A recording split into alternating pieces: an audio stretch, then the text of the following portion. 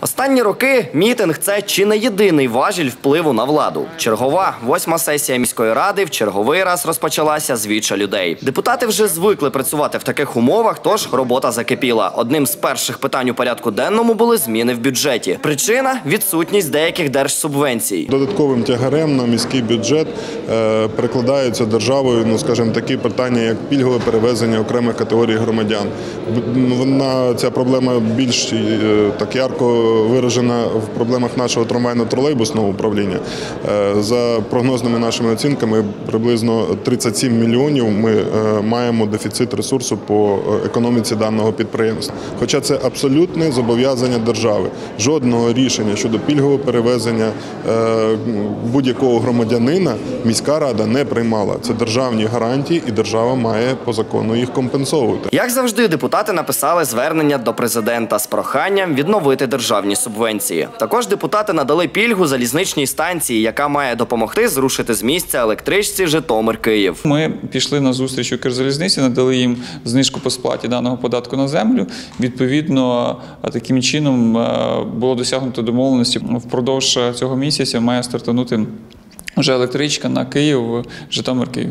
Ми розуміємо, попри те, що це якісь джентльменські домовленості, що є якби завжди важіль повернення. Е, Якщо там, бо хтось скептично ставився, що там от е, Укрзалізниця зараз отримала знижку на сплату податку, а в результаті там не, не запустить цих потягів, вони не будуть курсувати. Тобто таким чином завжди можна буде відмінити цю знижку. Підняли й питання щодо реконструкції вулиці Михайлівської. Дмитро Белейко презентував своє бачення, якою має бути єдина пішохідна вулиця міста. Безпосередня доступність, повністю доступний безбар'єрний простір по всім е, елементам даного проєкту.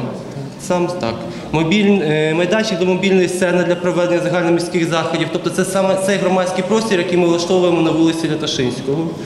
Упорядкування розміщення сезонних майданчиків, тобто ми робимо майданчики вже в одному стилі, щоб вони гармонювали безпосередньо з фасадами і безпосередньо з мощенням, яке ми зробимо.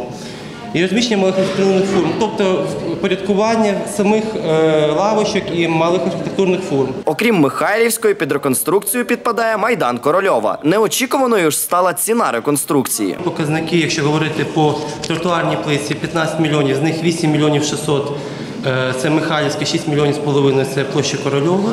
Якщо в граніті, то 31 мільйон 290 тисяч. З них 18 мільйонів 123 тисячі це вулиця Михайлівська і Майдан Корольова 13 мільйонів 167 тисяч. Врешті депутати виділили 150 тисяч гривень для розробки проектної документації на реконструкцію. Останнім питанням намагалися прийти до логічного завершення проблеми щодо будівництва басейна на території одного з гіпермаркетів міста. Після довгої дискусії депутати вирішили опрацювати це питання в спеціальній комісії, а саму сесію перенести на 12 травня. Тож далі буде. Андрій Іванюк, Юлія Парух, телеканал СК 1